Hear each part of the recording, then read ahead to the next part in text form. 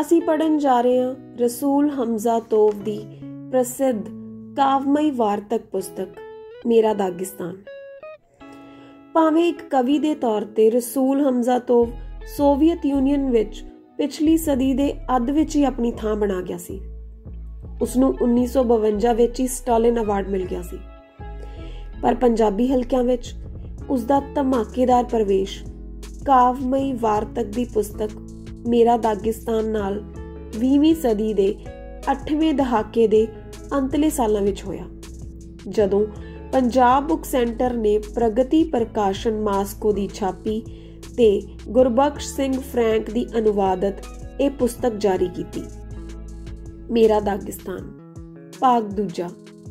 ਇਸ ਦਾ ਅਨੁਵਾਦ ਗੁਰਦੀਪ ਨੇ ਕੀਤਾ ਹੈ।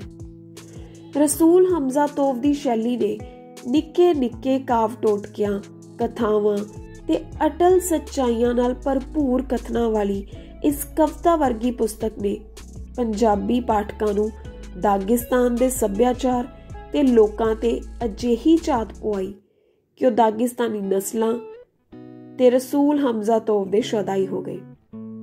ਇਸ ਕਿਤਾਬ ਵਿੱਚੋਂ ਲੈ ਲੈ ਕੇ ਕਥਨ ਅਖਬਾਰਾਂ ਰਸਾਲਿਆਂ ਵਿੱਚ ਛਾਪੇ ਗਏ ਤੇ ਬੁਲਾਰਿਆਂ ਨੇ ਆਪਣੇ ਭਾਸ਼ਣਾਂ ਨੂੰ ਰੌਚਕ ਬਣਾਉਣ ਲਈ ਹਵਾਲੇ ਦਿੱਤੇ।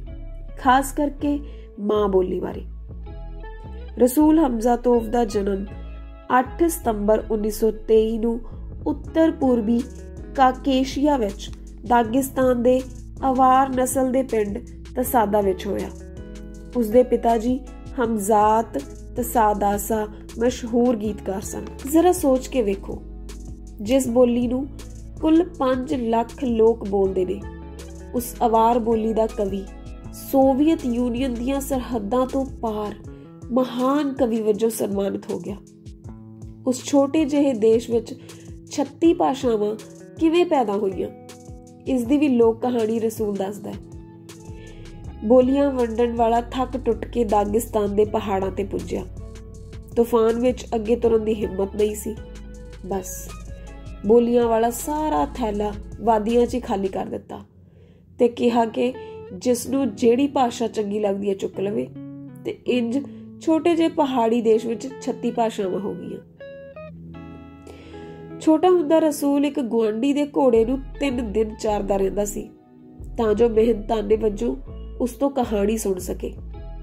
ਕਵਤਾਵਾਂ ਉਸ ਦੇ ਖੂਨ ਵਿੱਚ ਸੀ, ਜਿਹਦੀ ਪਹਿਲੀ ਝਲਕ 1934 ਵਿੱਚ ਮਿਲੀ, ਜਦੋਂ ਸਿਰਫ 11 ਸਾਲਾਂ ਦਾ ਸੀ। ਉਹਨੇ ਆਪਣੇ ਘਰ ਦੀ ਬਾਲਕੋਨੀ ਵਿੱਚ ਬੈਠਿਆਂ ਉਹਨਾਂ ਮੁੰਡਿਆਂ ਬਾਰੇ ਕਵਿਤਾ ਲਿਖੀ, ਜਿਹੜੇ ਆਪਣੇ ਪਿੰਡ ਨੇੜੇ ਖਾਲੀ ਥਾਂ ਵਿੱਚ ਪਹਿਲੀ ਵਾਰ ਉਤਰੇ ਹਵਾਈ ਜਹਾਜ਼ ਨੂੰ ਦੇਖਣ ਲਈ ਭੱਜੇ ਜਾਂਦੇ ਸਨ। ਅਧਿਆਪਨ ਸੰਸਥਾਨ ਤੋਂ ਪੜਨ ਤੋਂ ਬਾਅਦ 1940 ਵਿੱਚ ਵਾਪਸ ਪਿੰਡ ਦੇ ਸਕੂਲ ਵਿੱਚ ਆ ਕੇ ਉਹਨੇ ਕੁਝ ਦੇਰ ਪੜਾਇਆ ਵੀ। ਫਿਰ ਉਹ ਕਈ ਕਿਸਮ ਦੇ ਕੰਮਾਂ 'ਚ ਹੱਥ ਅਜਮਾਉਂਦਾ ਰਿਹਾ, ਪਰ ਕਿਸੇ ਵਿੱਚ ਵੀ ਨਾ ਉਹਦਾ ਦਿਲ ਲੱਗਿਆ, ਨਾ ਹੀ ਉਹ ਉਹਨਾਂ ਲਈ ਬਣਿਆ ਸੀ। ਉਹ ਤਾਂ ਕਿਸੇ ਹੋਰ ਹੀ ਕਾਰਜ ਖੇਤਰ ਲਈ ਸਿਰਜਿਆ ਗਿਆ ਸੀ, ਸਿਰਜਣਾ ਦੇ ਖੇਤਰ ਲਈ। ਉਹਦੀ ਕਵਿਤਾਵਾਂ ਦੀ ਪਹਿਲੀ ਕਿਤਾਬ 1943 ਵਿੱਚ ਸਾਹਮਣੇ ਆਈ, ਪ੍ਰਬਲ ਪਿਆਰ ਤੇ ਪ੍ਰਚੰਡ ਨਫ਼ਰਤ। ਦਾਗਿਸਤਾਨ ਦੀਆਂ 36 ਭਾਸ਼ਾਵਾਂ ਵਿੱਚੋਂ ਇੱਕ ਮੁੱਠੀ ਭਰ ਲੋਕਾਂ ਦੀ ਭਾਸ਼ਾ ਆਵਾਰ ਵਿੱਚ ਲਿਖਣ ਵਾਲਾ ਕਵੀ ਰਸੂਲ ਹਮਜ਼ਾ ਤੋਫ ਇੱਕ ਪੱਖੋਂ ਖੁਸ਼ਕਿਸਮਤ ਰਿਹਾ ਕਿ ਉਸ ਨੂੰ ਚੰਗੇ ਅਨੁਵਾਦਕ ਮਿਲ ਗਏ ਤੇ ਉਸ ਦੀਆਂ ਕਵਿਤਾਵਾਂ ਸੋਵੀਅਤ ਪਾਠਕਾਂ ਤੇ ਫਿਰ ਦੁਨੀਆ ਦੇ ਪਾਠਕਾਂ ਕੋਲ ਪਹੁੰਚ ਗਈਆਂ ਤੇ ਫਿਰ ਗੁਰਬਖਸ਼ ਸਿੰਘ ਫਰੈਂਕ ਤੇ ਗੁਰਦੀਪ ਦੀ ਮਿਹਨਤ ਤੇ ਸੁਹਿਰਦਗੀ ਸਦਕਾ ਪੰਜਾਬੀ ਪਾਠਕਾਂ ਕੋਲ ਆ ਗਈਆਂ। ਰਸੂਲ ਹਮਜ਼ਾ ਤੋਵ ਨੂੰ ਅਨੇਕਾਂ ਸਨਮਾਨਾਂ ਨਾਲ ਸਤਿਕਾਰਿਆ ਗਿਆ। ਉਸ ਨੂੰ ਦਾਗਿਸਤਾਨ ਦਾ ਲੋਕ ਕਵੀ ਐਲਾਨਿਆ ਗਿਆ। ਸਮਾਜਵਾਦੀ ਕਿਰਤ ਦਾ ਹੀਰੋ ਉਪਾਧੀ ਨਾਲ ਵੀ ਸਨਮਾਨਿਆ ਗਿਆ। 1950 ਵਿੱਚ ਰਸੂਲ ਨੂੰ ਦਾਗਿਸਤਾਨੀ ਲੇਖਕ ਯੂਨੀਅਨ ਦਾ ਪ੍ਰਧਾਨ ਚੁਣਿਆ ਗਿਆ, ਜੋ ਅਹੁਦਾ ਉਸ ਕੋਲ ਸਾਰੀ ਉਮਰ ਰਿਹਾ, ਯਾਨੀ 53 ਸਾਲ। ਯੂਰਪ, ਏਸ਼ੀਆ, ਅਮਰੀਕਾ ਤੇ ਭਾਰਤ ਸਮੇਤ ਉਹ ਸੈਂਕੜੇ ਦੇਸ਼ਾਂ ਵਿੱਚ ਘੁੰਮਿਆ ਤੇ ਉਹਨੂੰ ਲੋਕਾਂ ਨੇ ਅੱਖਾਂ ਤੇ ਬਿਠਾਇਆ।